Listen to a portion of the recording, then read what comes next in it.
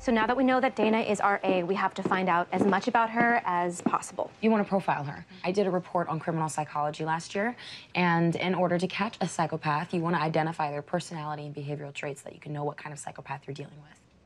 Thank you, Spencer. I'm Caitlin. Yeah, I know.